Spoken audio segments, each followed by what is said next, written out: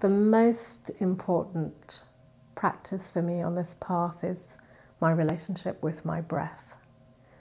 And on a daily on a daily basis, that is a relationship of wonder. Um, I'm constantly amazed as to how many breaths I'm unaware of in my given day. That here is this this thing that keeps me alive. Without it, I don't exist. And yet I don't I don't have a full sense of value for that. I, I, I throw that value away. And yet, when I remember it, it's like I can go into rapture, you know, just at the mere thought of this, this invisible force that comes into me and goes out of me. And, and so I'm saying comes into me and goes out of me.